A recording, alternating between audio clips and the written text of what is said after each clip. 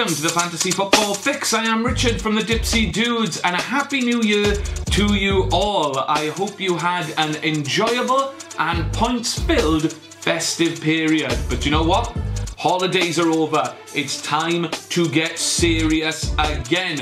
Whether you've been doing well so far this season or whether you've been having an absolute mare, things could get turned upside down in the next few game weeks. There are suspensions, there's injuries, there's players returning from injuries, there's the African Cup of Nations, there's the Asian Cup, there's the January transfer window, and there's the January wildcard window.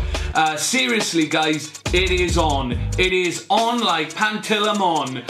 So let's get straight into the Game Week 21 players for your consideration.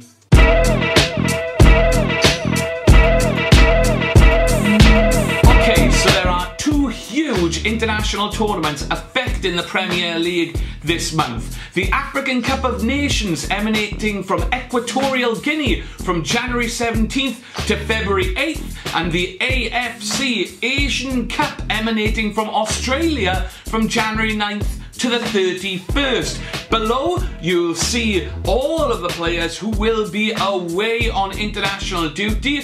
The biggest omissions arguably being Swansea's Wilfried Bony and Man City's Yaya Toure, who are selected by roughly 10% uh, of managers respectively for each man. So let's have a look at some of the attacking and midfield options to replace these and other players that are off for international duty.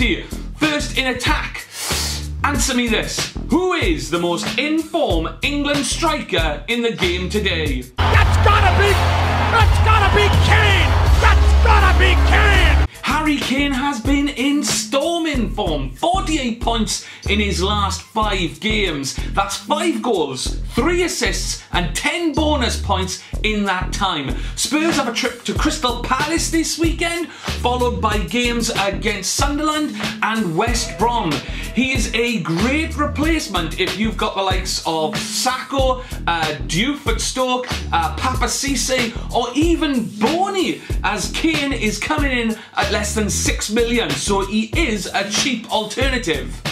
Another cheap option, but a little bit more left field, is Peter Crouch. The big man looked strong against Man United in his last league encounter, and while his form hasn't been great before then, Stoke find themselves away to Arsenal and Leicester in the next two games, then hosting QPR.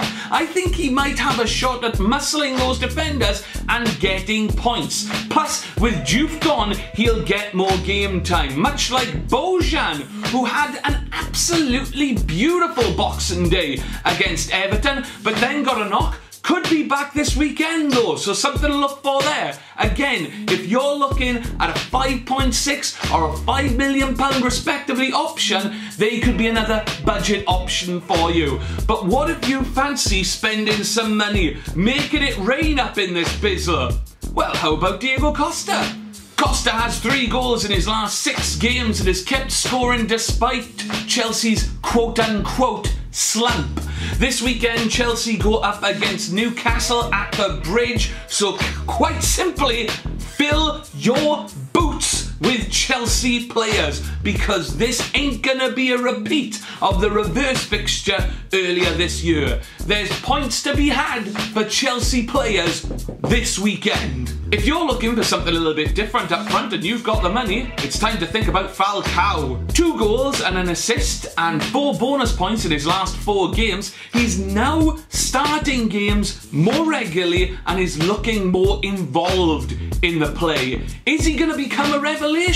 A second half to the season revelation? Is he going to become the Falcao of old? There's glimmers of it. Is it time to gamble on him for 10.5 million? I mean, he is going to be getting some great service from a player who's just returning from injury, Angel Di Maria.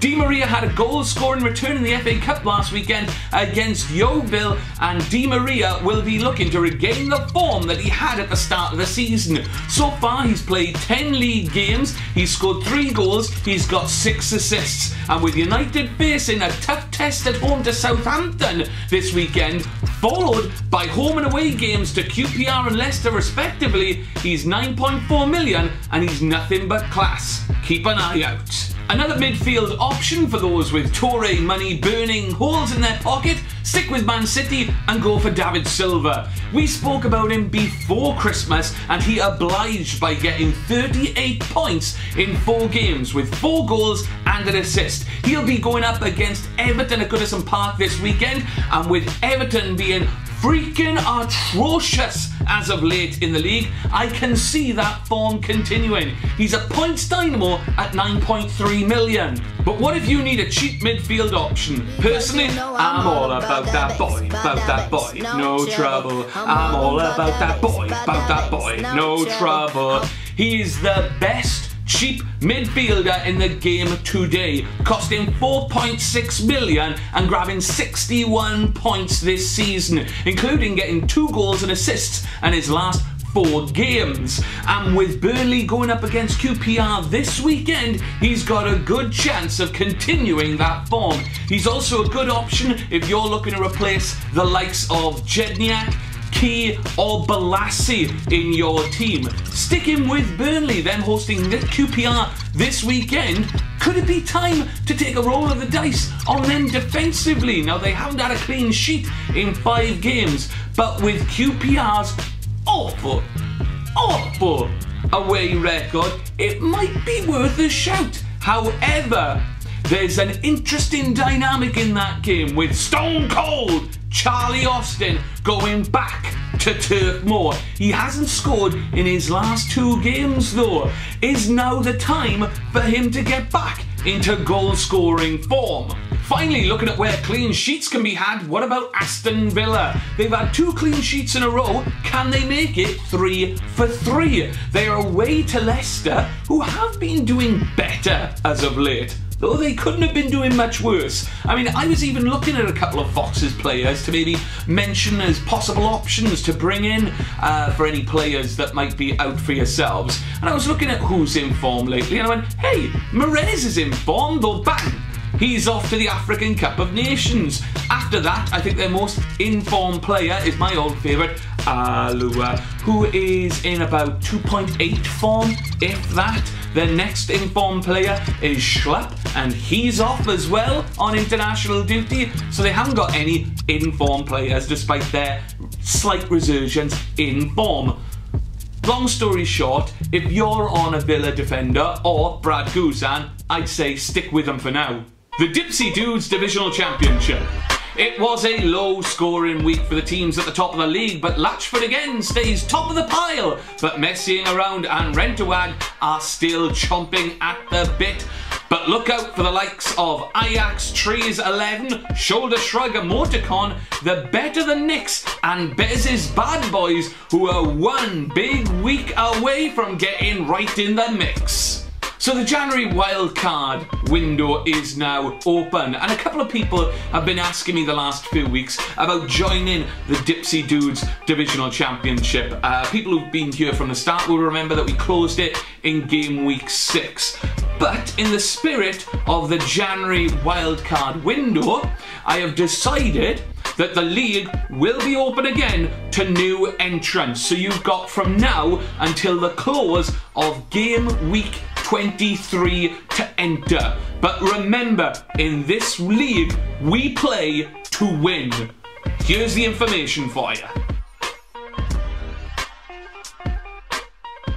Right, that's about it for this game week. Thank you very much for joining us. Remember, if you like what you see, the old like button, leave us a comment, or hit the subscribe button to ensure that you get the latest Dipsy Dudes videos as soon as they're released. Stuff like our Game of the Year video with Adam. Feel free to check that one out. In fact, I tell you what, I want you guys to be interactive on this one. I've got a question for you for the next couple of weeks. It's the January wildcard window. I want to know when you play your wildcard. Once you've played it, leave us a comment and let us know when you played it and how many transfers you made. I'm interested to see who's made the most transfers in one shot. If anyone's done the full 15, I definitely want to hear about it and see a screenshot as well. Let us know in the old comment section or you can go to our discussion group at fiso.co.uk. Links to that and all our social medias are all in the description. But until next week, thank you again. Good luck to all you managers out there for this coming game week. It's game week 21, and you want to play 21? I got 22. You want to play blackjack? I got two of those too.